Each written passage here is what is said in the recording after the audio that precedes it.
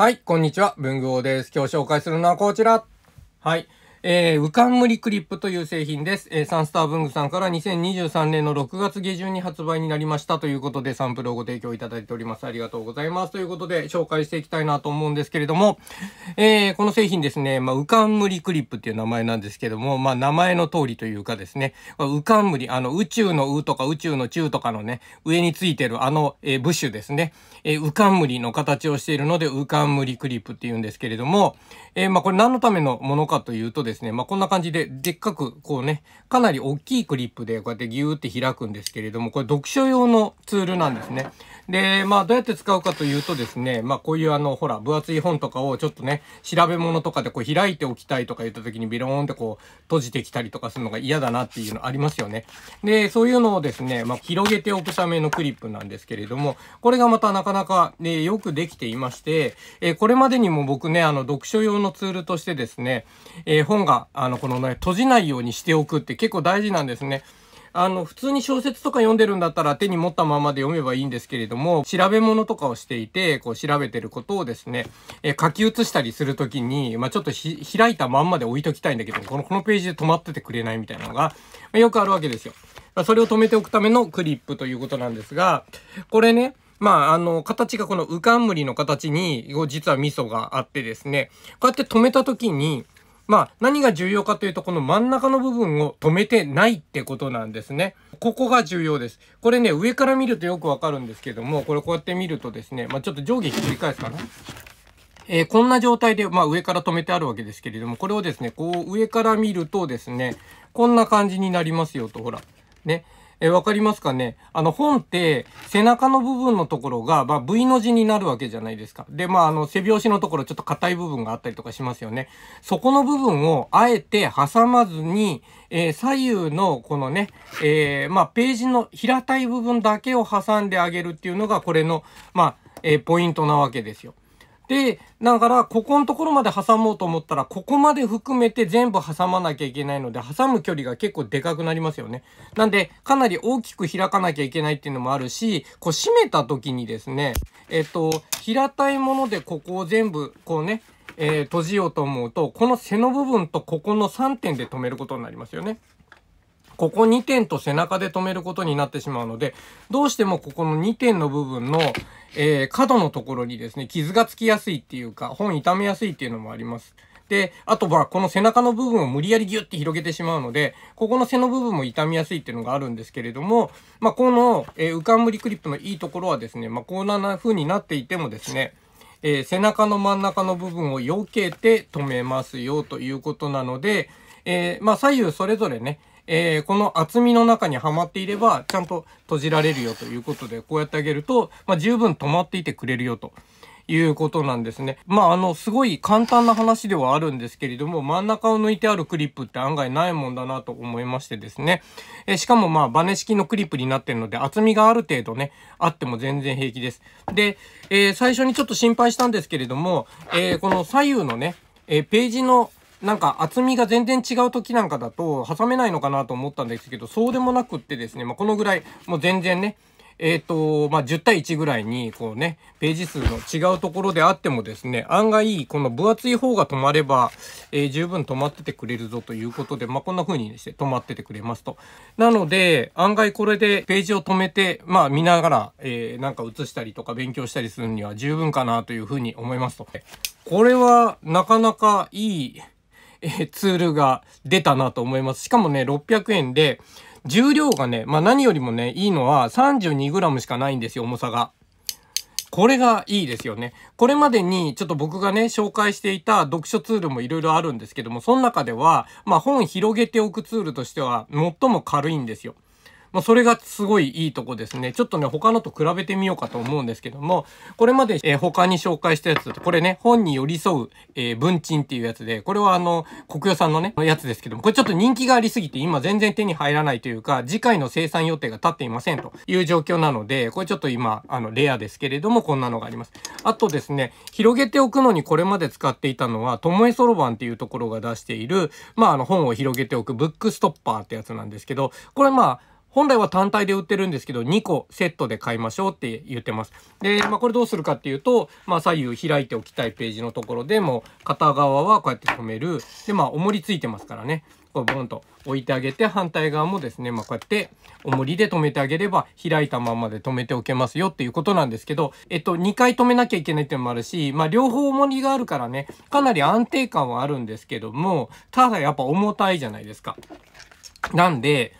これだとですね、まあ、この、えー、本に寄り添う文鎮1個で 210g あります。で、えっ、ー、と、こっちね、えー、ブックストッパーは1個 118g あるんで、えっ、ー、と、これ2個足すとですね、236g になるわけですよ。ということなんで、これも、だからどっちもやっぱりね、真鍮の塊なんで結構重たいんですよね。っていう問題があります。なんですけども、だから家で使うんだったら別にこれでいいんですよ。で、特にこの、あの、本に寄り添う文鎮って楽で、こう開いたページにこうやって載せるだけなので、まあちょっとね、ここ見づらいっていう部分はあるんですけれども、あのー、まあちょっとずらしながらこうやって見てあげれば、開いて置いとくだけだったら、これかなり簡単でいいっていう、まあメリットはあるんですが、ただですよ、まあ、これにしてもこれにしても 200g オーバーなわけですから、外に行ってですよ、えー、まあカフェで勉強するだったりとか、こう自習室で勉強するとか、塾に持ってくとかっていうのにしたらですよ、これちょっと重くないですか？ね。なんで、まあ、リュックに入れて持っていくのちょっと嫌だなっていう重さはあるわけですね。それいくと、やっぱこっちはですね、圧倒的に軽い 32g。まあ、プラスチックのスカスカのクリップですから、非常に軽くていいですよね。ということなんで、これは特にやっぱり、まあ家で、あの、やるときでもですね、一箇所で止めておけるので、で、あのね、このクリップ入れるときにもね、結構ね、楽なんですよ。これ広げるじゃないですか。そうすると、下が2本あって真ん中空いてますよね。なので、このちょうど、え机に置いてある、ここを見るといいかな。机に置いてある本っていうのは、こうやって置くとですね、左右下にちょっとね、湾曲してるんで隙間があるので、こうやって行った時にですね、こっちからガッて行った時に、ちゃんとこの隙間に入るんですね。入って止められるので、非常に簡単に止められるよという感じですね。これあの、向こう側から、まあ、本の状態をほとんど見なくても、こうやってあげると、えー、綺麗に止められますということで、挟みやすい。思ったよりこれはいいっていうツールが、ね、しかも600円ということで、プラス税ということなんで、非常にあの、お手頃価格で手に入るということで、軽いし。特にね、勉強で、学校とか塾とかで、えー、教科書を広げておいといて、なんか勉強したいみたいな人にとってはいいんじゃないのかなと思います。で、これ色、いろいろあるんですけれども、えー、中でもあの、透明っていうのがあります。このクリアタイプっていうのは、えー、さらにですね、まあ、これで、まあ、もしこういうところを挟んだとしてもですよ。まあ、えー、深めに挟んだとしても、この挟まれた下のところがちょっと透明で見えるのでね。まあ実用面でいくとこの透明のやつはなかなかいいんじゃないかなと思いますけれども、他の色も可愛くていいですよと。いうことでですね、あの、カバンの中に入れといて分厚い本を読んで、えっと、どっかでですね、まあメモ取ったりとかするにはですね、これはええなというふうに思っておりますということで、えー、浮かんむりクリップ。名前は冗談みたいな感じなんですけども、なかなかいいぞという感じです。で、ですね。まあ、あのー、ここまでは本当にあの大絶賛なんですけども、ただね、使っているとね、ちょっとね、気になるところがないわけでもない。で、何かというとですね、これプラスチックでできていて、やっぱり硬いっていうのと、まあどうしてもなんか厚みにこうやって差があったりすると、斜めにこう当たってしまったり、こう隙間が空いたりとかすると、どうしてもここ滑りやすく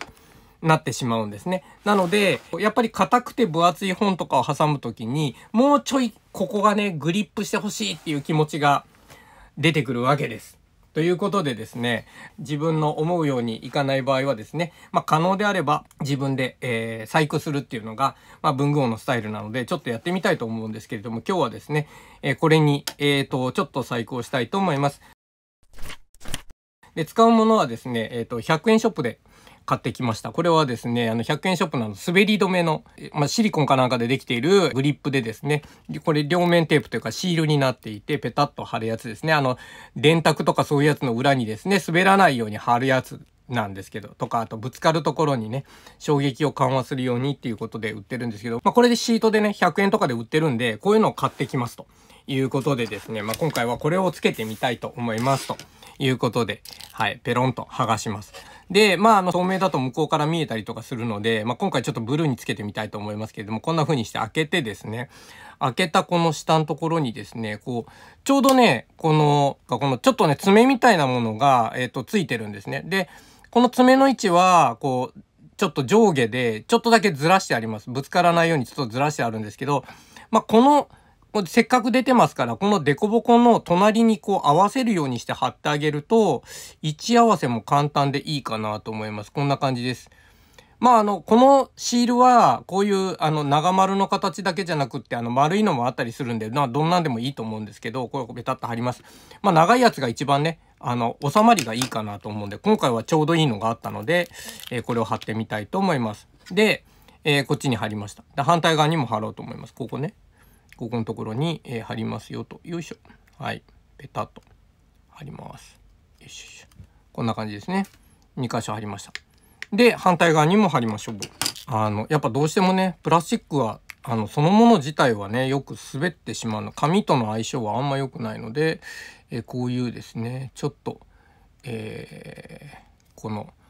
グリップ力の高いシールを貼ってみます。はい、こんな感じですね。で、4つ目貼ります。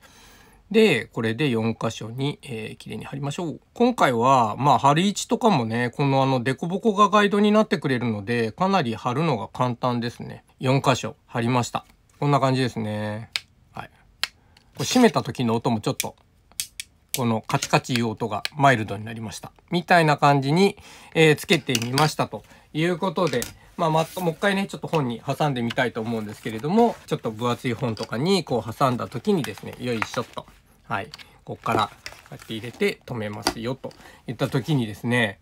わかりますかね？あの、最初に挟んだ時よりも、ここのところが平たくギュって止まってるのわかります？滑らないので戻ってこないんですよ。